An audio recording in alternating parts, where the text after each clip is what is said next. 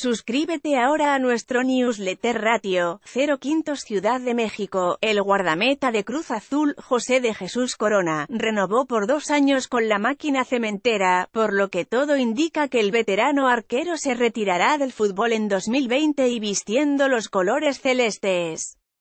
Corona así pasaría a la historia del equipo de la Noria como el portero más longevo en cubrir el marco de Cruz Azul, con 39 años. Óscar Conejo Pérez dejó a la máquina a los 35 años, Miguel El Gato Marín lo hizo a los 37, y Norberto Scoponi dejó la institución a los 36. El medallista de oro en Londres 2012 llegó a la institución en 2009, y ha disputado 319 partidos con el equipo actualmente dirigido por el portugués Pedro Caixinha. El Universal, EVZ 16 de abril de 18, EV calificar la nota, 0 rating, yo expreso.